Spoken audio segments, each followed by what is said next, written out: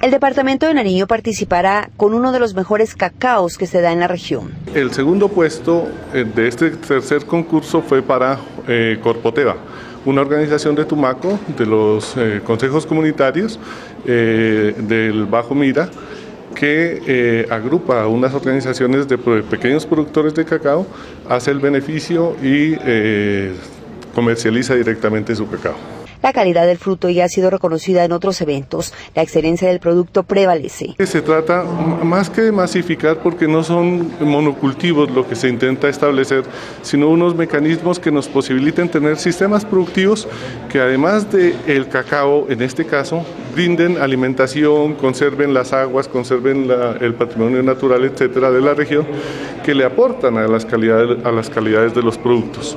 De tal manera que lo que se intenta es fortalecer lo que existe ahora. Esas experiencias como las de Corpoteva, en el cacao en este caso, que también se presentan en otros sistemas productivos, fortalecerlas, de tal manera que eh, muy pronto ese cacao de Tumaco que es el mejor del país, eh, indudablemente, eh, va a tener mucho de qué hablar a nivel internacional. A mediados del mes de octubre, Nariño participará en el Salón Internacional de la Excelencia del Cacao, que se llevará a cabo en Francia.